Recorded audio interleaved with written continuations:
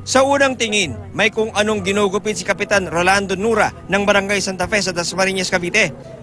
Pero sa surveillance video ng Dasmariñas Police, sachet pala ito ng droga na kinukuhanan ng laman, nire-reseal sa kasalitang binabatak kasamang ilang parokyano. Nang maibigay na sa kanilang undercover ang biniling droga, pumasok na ang mga operatiba.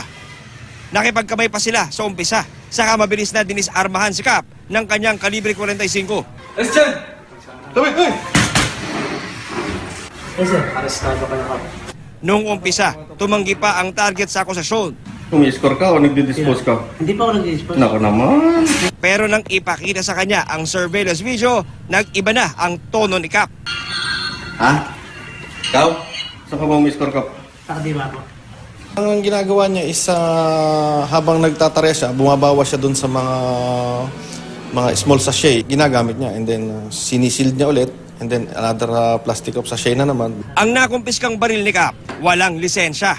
Bukod sa 500 pesos na mark money, nakumpiska rin sa kanya ang labing limang sachet ng Cebu, electronic weighing scale at drug paraphernalia.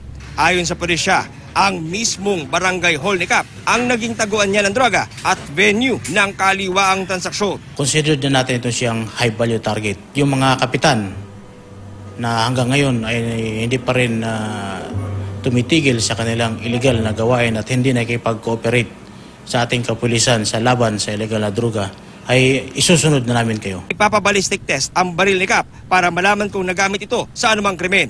Nagkasagawa na rin ng follow-up operation sa iba pang transaksyon ng inarestong kapitan. kinukumpiska natin ng cellphone para ma-retrieve natin yung mga information na maaaring katext nila sa transaction ng drugs or other activities na ginamit nila ang cellphone. John Consulta, nakatutok, 24 oras.